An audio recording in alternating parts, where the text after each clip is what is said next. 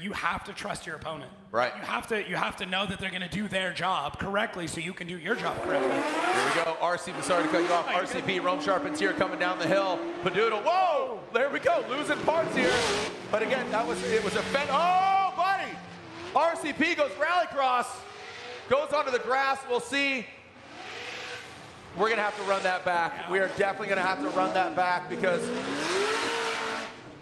Odi Bakchis's finished out. He doesn't even need to finish it out. But I think it's smart because, oh my gosh! Holy cow! Make sure he's okay. Yeah. Get out, Odi. Get out. Get out. Get out, Odi. Get out. Hit that. Oh, son of a gun. Get out. I know he's out.